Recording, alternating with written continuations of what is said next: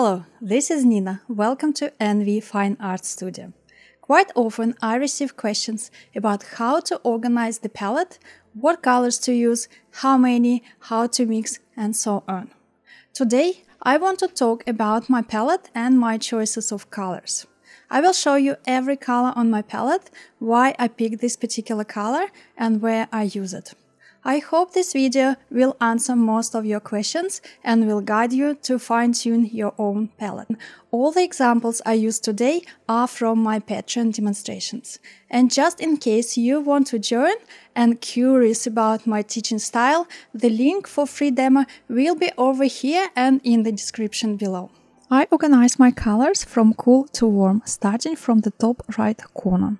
In general, I mostly have some sort of primary colors for mixing and neutrals. I don't have greens except these two guys, cerulean and cobalt turquoise if you can call them greens. And a few oddballs such as lavender and very pale off-white color buff. I recently added two violets and I will discuss the reason later when we get to them. In general, when you compose your palette, you shouldn't think just about the color. It's best to pay attention to the pigment qualities, the tone, is it warm or cool, the value range, how dark it can get, transparency, granulation, and so on. Let me show you exactly what my choices of paints are so you can refine yours. The first one is Payne's Grey by Winsor & Newton. It's quite different to all other Payne's Greys. It is the most true cool blue gray in comparison to most other common watercolor paint brands. It is a very clean, semi-opaque color. I usually use it if I need a transparent dark, which is a very rare occasion, such as painting a dark stormy sky or doing a value study. Honestly, I hardly ever use it nowadays, probably only for value studies, because it makes things look gloomy in your painting. The next one is Mineral Violet by Holbein. Beautiful color. I think it's based on quinacridone pigment and as all quinacridones, it is a very vibrant and I absolutely adore this quality in this pigment. I also have Carbazole Violet by Daniel Smith it is similar but cooler and not as vigorous. I got violets only recently. I used to mix my own, still do, but I noticed that I always tend to overdo alizarin when mixing it with ultramarine to make a violet. Alizarin is a very strong color and by habit I just dip my brush as it was any other color and grab too much of it. And then I have to either live with it or start all over and secondly having a violet ready available saved me some time because I noticed that recently I started to use more violets in my mixes and also quite often I need it really quickly while the wash is very wet and runny. Just pick it up, drop it in the wash and let it mix on the paper. Basically it saves me time when I work wet on wet. This painting and all other examples in this video are taken from the full demonstration videos on Patreon. If you want to practice and see more examples where and how I use all these beautiful colors, please find me there. In general, when I make a video for Patreon, I always cover a specific topic. I want you to not only have a good time painting with me, but also take something that you can implement when you paint on your own.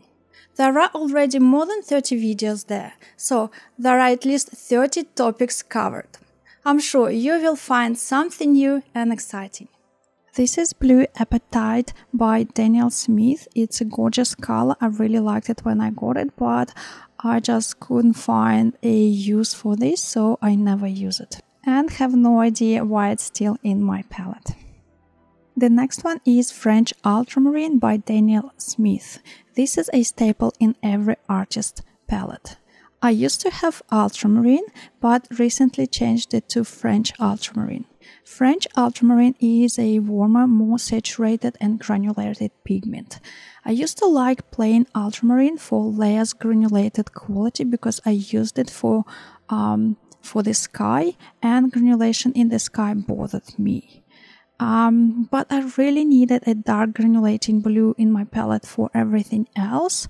So I found a way how to reduce granulation for the sky, basically mixing it 50-50 with cobalt blue. The next one is Cobalt Blue by Daniel Smith. I don't think this guy needs any introduction. It is a primary neutral blue color. Primary blue means that if you mix it with primary yellow, which is very close to cadmium yellow lemon, and or primary red, in theory you can create any color. Obviously, this statement is questionable, at least for me because uh, we more than often value properties of pigments more than colors, such as value range, transparency, granulation, vibrancy. So it is definitely a good idea to practice painting just with three colors, just with three primary colors. Uh, if you're a beginner, but when you get more proficient with things, it's great fun to add a variety to your palette.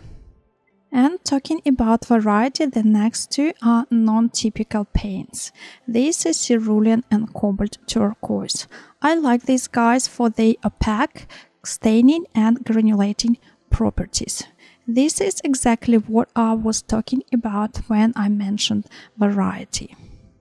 The cerulean I use is a Winsor and Newton color, but it can be substituted by Holbein as well.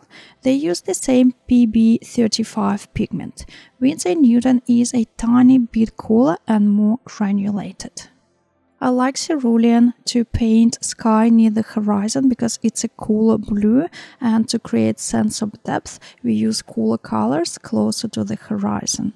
Cobalt turquoise is by Holbein. I don't think there is any other brand that makes this particular hue. It is the most blue and vivid out of all teal colors. I use both of these paints when I paint ocean waves, sky near the horizon. For mixing greens, I particularly like it to mix with uh, raw sienna, yellow ochre, burnt sienna, and uh, cadmium red light. The next color is Cadmium Lemon by Winsor & Newton. It is very close to primary yellow but a bit cooler and it is an opaque color. In pure state I'd use it for sunrises or sunsets.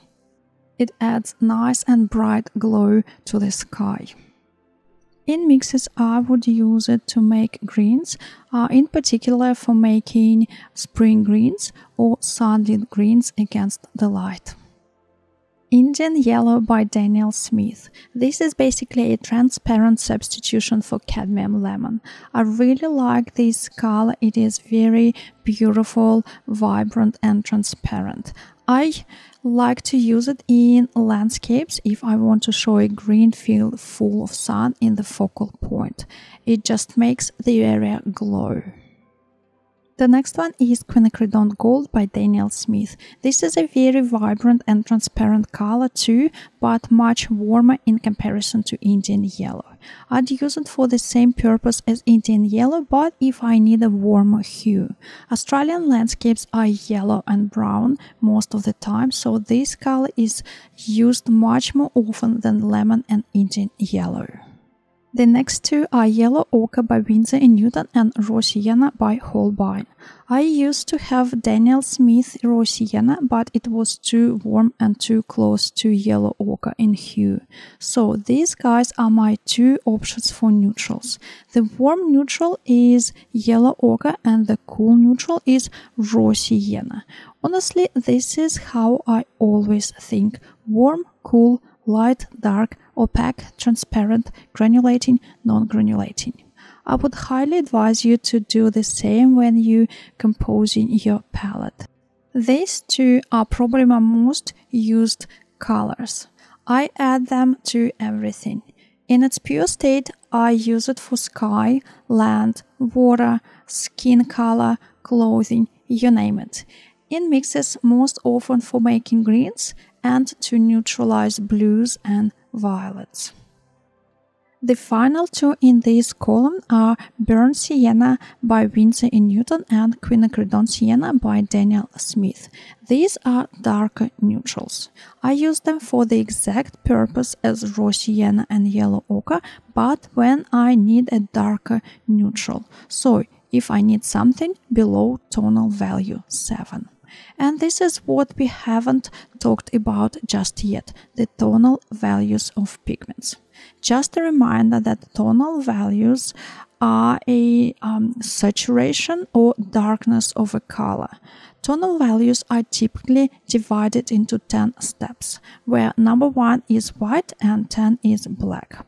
Light values are between 1 and 4, middle values 5 and 7, and darks are between 8 and 10.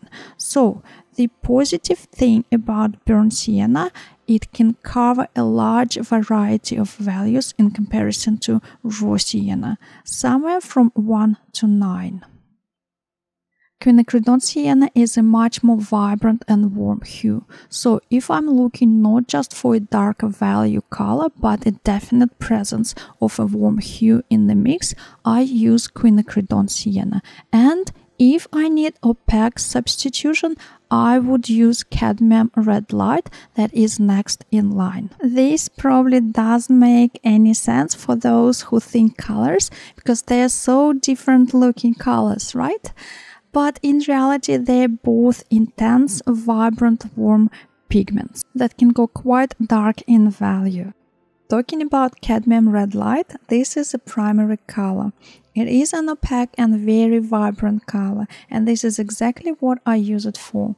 In its prime state, I use it for bright red statements, such as famous trade earnings, traffic lights, red cars, tailgate lights, poppy flowers in the field, and so on. In mixes, I usually add it to blues to neutralize and make grays. I add it to yellows when I paint skies so it doesn't turn green when overlapping with blue. I add it to greens when I want a warmer green such as you see during sunrise or sunsets. The next one is alizarin crimson. This is a cool red. It is transparent and a very strong color. It also can be used as a dark warm. It can go up to value 9. Unfortunately, because it's so intense, I tend to always overdo it. But it is a beautiful color for making grays. If I'm about to make a big shadow that would cover half of the painting, I would definitely use alizarin in the mix. I would never substitute it with violet. It just adds this gorgeous warm glow to the shadows that I cannot substitute with any other pigment. Now I want to skip these two little oddballs here. I will talk about them later and jump straight to neutral tint. This neutral tint is from Winsor & Newton. This is definitely the grey worth mentioning. It is a warm black grey color. In its pure state from the tube it is value 10. You cannot go darker than that. It is opaque so it's perfect for the final darkest darks in your painting. In regards to mixing, I use it to darken my warm colors. For example, if I need to transition burnt sienna from middle value range into darks, I would add neutral tint. At this point, you might think if you have Payne's Gray already, why not use this instead? Just a reminder, Payne's Gray is a cool black gray. Burnt Sienna and Payne's Gray are complementary colors, like blue and orange. They will neutralize each other and make gray. But mixing light warm with dark warm makes the mix dark warm, not neutral gray. This will be relevant to all mixes that I can make from burnt sienna. For example, greens. If I want to make the green made from burnt sienna and cerulean into dark value range and keep it warm vibrancy, I will need to add neutral tint. If I add Payne's gray, it will turn into dull gray with a hint of green. The last two, but definitely not least, lavender and buff titanium. I think I ate breakfast, lunch, and dinner with these two colors. Not a healthy thing. Let's start with lavender. It is an opaque, warm bluish gray. If you want to achieve this color by mixing, you will need white to make it opaque, ultramarine and alizarin to make it purpley gray. In its pure state, I use it for sky, for shadows, for clothing, painting white objects in shadows. In mixes, I use it to add opacity, to lighten without adding water, to add a hazy feel to objects in distance, to take something out of focus. This is just name a few. I would probably add it to anything and everything, and I will find the reason why, unless I'm definitely thousand percent sure that I don't want to add it. Buff Titanium is a semi-opaque muted light neutral paint and this is the beauty of it. It adds haziness to the mixes and it doesn't change the opacity too much. In its pure state, I use it instead of white gouache when I don't need a staccato appearance in the highlights. The bold, bright, white in your face type of thing. In the mixes, I use it instead of raw sienna when I want to softly neutralize or softly warm up the mix. For example, if I mix cerulean with raw sienna, it will turn into a vibrant green. But if I add buff to cerulean, it will make it a nice tropical aqua color that is great for painting ocean waves near the surf. Another example, I quite often add it to the warm mixture for the sky. It adds warmth and haziness to the clouds without an intense raw sienna feel that is usually associated with the late afternoon sun. Okay, this is all I have here. Sometimes I think it's more than enough. I can definitely reduce it to 10 instead of 20 colors. But I have all these vials, so I might just use it. I'm actually thinking of removing the colors that I rarely use and leaving a few empty vials to experiment with new pigments. Painting style and how you see tones and hues is always evolving and changing and it evokes a demand for new paints. I recently got these two new colors, Horizon Blue and Cadmium Orange. I'm quite happy with them. I may just make them permanent residents in my palette. I also got Jaune from Holbein to compare with Buff, but I haven't tried it yet. I may make a comparison video actually. If you are interested, keep an eye on it. Also, I got a swatch of cadmium free paints from Winsor & Newton. I haven't tried it yet. So again, if you are interested in my opinion, please subscribe and hit that notification button so you don't miss them. This is all for today. I hope it was informative and enjoyable. If so, please like, subscribe, hit that notification button, leave a comment, especially if you have any questions about the colors, pigments, palettes, or anything else in regards to watercolor. And I will see you in my Patreon.